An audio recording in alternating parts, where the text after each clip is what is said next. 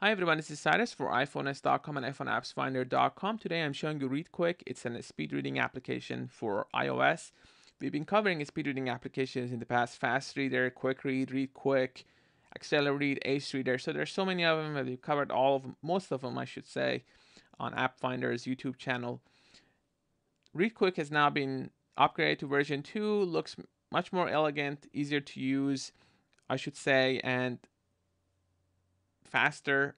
Also, it doesn't crash a lot. I use it on my iPad Air a lot and it hasn't been crashing. The previous version, if you go and see the video that we did, I complained about a couple of crashes that we had and I didn't think at the time it was a deal breaker anyway, but now it's nice to see that these guys have worked on it and made it more stable. Now, you still can add your Instapaper Pocket articles. You can add articles from browser. You can change settings here, connections that you have. Instapaper Pocket readability. You can see your stats. So I have a couple of stats as far as the articles. Now let's just go and add a new one just to show you how simple it is. So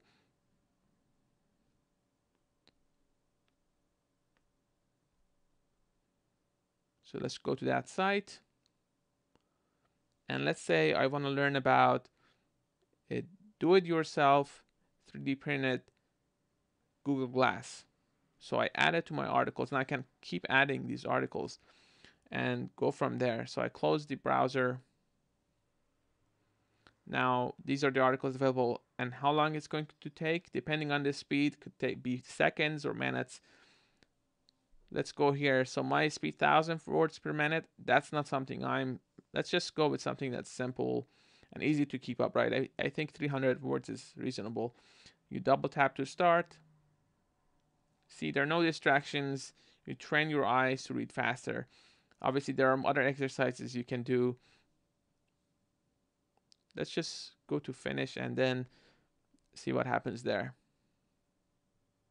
Obviously, it doesn't show the videos. If your articles have videos, it's going to be harder to actually speed read them. But let's say you're reading something on the Wall Street Journal or New York Times and doesn't have videos or other information you need to keep up with.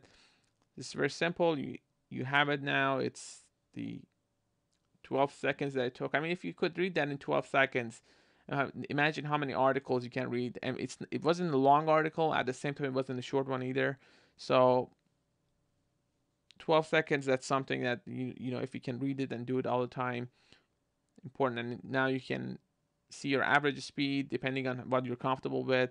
The sources, so it keeps track of your sources, the sites that I've actually used. So that's pretty neat. As far as the settings, you have your favorites, Instapaper, Pocket, you can connect them.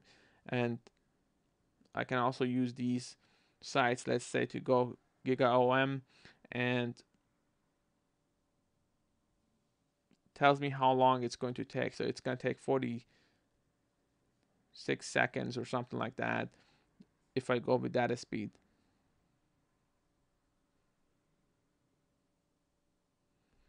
So there you have it. Very simple. I like the new design. It doesn't crash as often as the other one, which is the previous version, which is nice.